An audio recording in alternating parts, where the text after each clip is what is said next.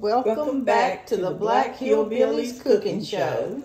Today we're fixing something really good, and it it's real good for the fall and the winter on those cold uh, winter nights or those cool fall nights. It's some good old soup. So we're going to make garlic soup today. First you get your pot ready and melt about a tablespoon of butter in the pot in the bottom of it. And then we're going to do three cloves of garlic crushed. Seven cloves of garlic. Sorry, seven cloves of garlic. Thank you for reminding me. Seven cloves of garlic and three cups of gold potatoes. They haven't been cooked yet, but they'll cook in the soup. All right, so what I'm doing right now, I have got my butter, one my tablespoon of butter melted and now I'm taking the garlic and I'm going to saute the garlic. Just make sure that you don't have have the heat on too high. You want it on about medium heat. Ooh, that garlic and butter smells good mixing together in that pot. Next, what you want to do is you want to pour in about seven cups of water. Make sure not to burn your garlic now. Just pour it in there. Keep pouring it in there. All the way that's about half. All right, so we've got all our water in, which is seven cups of water. So next what I'm gonna do is use a tablespoon of the Better Than Bouillon chicken base. This really gives it a good flavor. So we'll add that in there.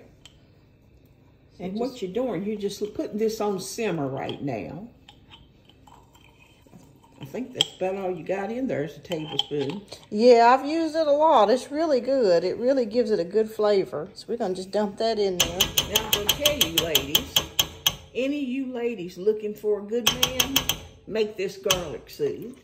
And I promise you, you will have one. Just make him some good old garlic soup for the winter.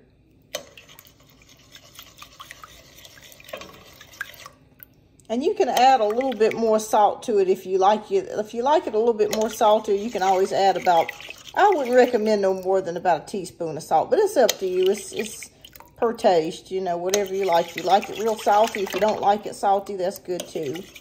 So I'm just making sure that that bouillon gets put in there. I don't like to waste nothing.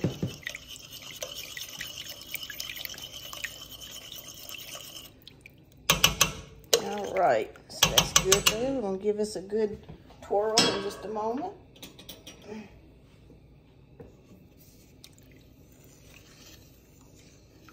All right, so what we're gonna do next is put in our three large golden potatoes. Three large golden potatoes. All right, so we've put our potatoes in there and we're gonna let that cook down on about medium heat for about 20 minutes or until the potatoes are fork tender, where you can put your fork through it. All right, y'all. I also forgot to mention, too, that you can get about a half a teaspoon, or about a teaspoon of caraway seed to put in this as well. You can get it at most of the grocery stores. All right, so I mentioned the cumin, or caraway seed it's not something that you have to have, but you can add it in there if you want to, but you don't have to. If your local grocery store don't carry it, you don't have to have it. So next, but it's best that you do have it. So anyway, what we're going to do is take one egg and we're going to beat the egg. We're going to temper it and then we're going to slowly add it to the dish. So tempering the egg just basically means what we're going to do is just, just stir it around. And then once we add it to the dish, we're gonna add it in slowly. And once you add it in, you have to do it very slowly. Because if you, if you add it all in at one time, what's gonna happen is gonna cause, you're gonna actually cause you to have big globs of egg, and we don't want that. So that's not what we're looking to do. So we're gonna just take this off, take this lid off. And give this a good stir. But first, let's check our potatoes to see if they're fork tender yet. Okay.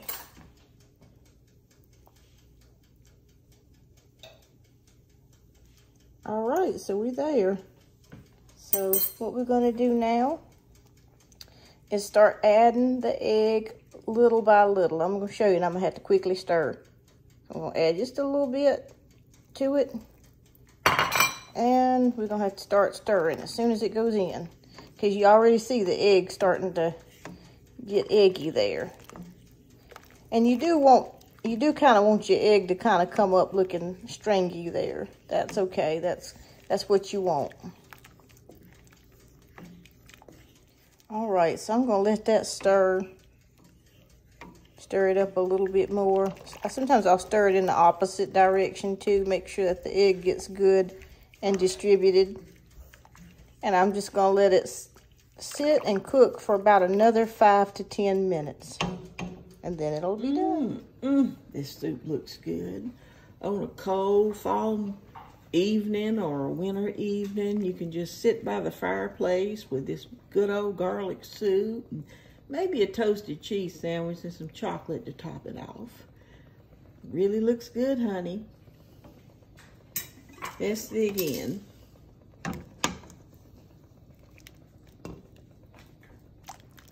Mmm. And you can add cheese to it too. So if you're a cheese lover, you can use Swiss cheese or mozzarella cheese and just put it in the bottom of it. It gets really creamy. It looks really good. It Tastes so really good. good too.